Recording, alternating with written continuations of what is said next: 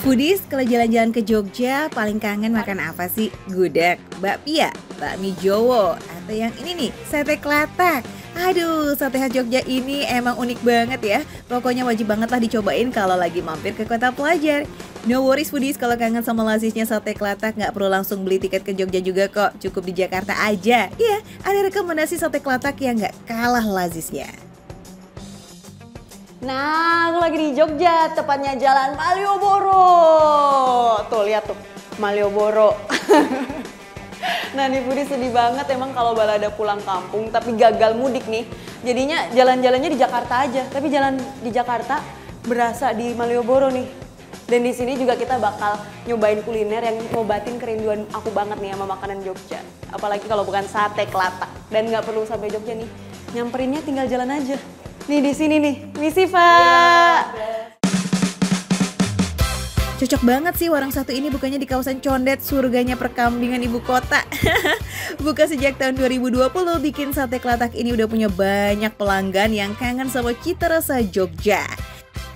Nih ya Budis, jadi kalau di daerah Condet nih emang isinya tuh kuliner kambing semua. Cuma di sini doang nih yang jualnya kambing khas Jogja. Betul. Dijadiin sate kelatak. Nah tadi kata Pak Nasrul ya, di sini tuh ada sate kelatak dan tongseng. Aku boleh nggak sih bikin ikutan gitu? Oh, iya. Mulai dari sate kelatak sama tongsengnya. Betul, betul. Boleh Mbak, boleh. Oke boleh. Berarti langsung ke dapur ya Pak ya? Nah kaleng-kaleng, warung yang satu ini pakai kambing utuh loh foodies. Dalam sehari aja bisa ngabisin sampai 2 ekor. Nah, ini Mbak tempat penyiasatan kambingnya sama teman saya. Oh, jadi Sama- ini kambing yang dipakai? Betul, jadi memang utuh.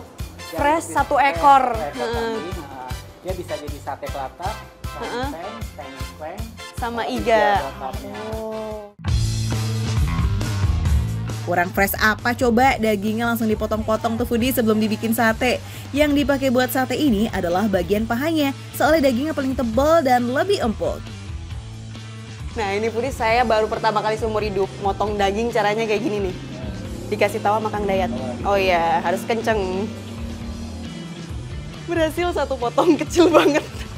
Lagi Kang Dayat ya. Beneran lo lebih gampang kalau kayak gini caranya. Widih, baru kali ini nih nemuin cara motong yang super unik. Satset satset wat wat wat wat. Langsung deh ditusukin dan juga dibakar. Biar nggak keburu kelaparan nunggu, iya nggak? Jadi gitu Fudis. Biar daging kambingnya matangnya merata, katanya pakai jeruji sepeda nih. Ini dapat dari mana jerujinya? Beli. Oh beli, nggak nyopotin sepeda orang ya? Tenang Fudis, ini beli jerujinya nih. Selain matangnya lebih merata, kalau pakai jeruji kayak begini nih foodies, jadinya bisa dipakai ulang, lebih ramah lingkungan ya nggak? Sebelum dibakar foodies, satenya dimandiin dulu nih pakai bumbu khusus biar wangi. Kang Dayat ini kan daging kambing ya? Iya. Tapi anehnya nih Fudis, dari tadi saya nggak nyium bau perengus khas kambingnya nih. Malah begitu dibakar yang kecium bau bawang putihnya. Kok bisa sih nggak bau? Ya, mungkin bumbunya kali ya. Oh dari bumbunya itu? Nah, ini juaranya sate kelatak nih foodies di aromanya yang no prengus. Iya, soalnya pakai kambing muda. Biarpun kambing itu lebih alot dibandingkan sapi, proses ngebakarnya nggak makan waktu lama kok. Cuma 10 menit aja udah siap buat disajikan. Aduh Fudis ini perut udah bergemuruh nih dari tadi. Pesanannya udah ready semua, mulai dari tongseng, terus sama ini yang tadi kita bikin. Sate kelataknya udah siap buat dimakan. Udah gak sabar, main langsung cobain ya. Ciri khas sate kelatak itu ada di bumbunya foodies, nggak pakai bumbu kacang tapi disajikan pakai sambal kecap. Ih, legit-legit pedas gitu deh. Hmm, wah. Ini sih definisi makan daging kambing rasa wagyu. Juicy-nya tuh dapat bau-bau perengus kambingnya.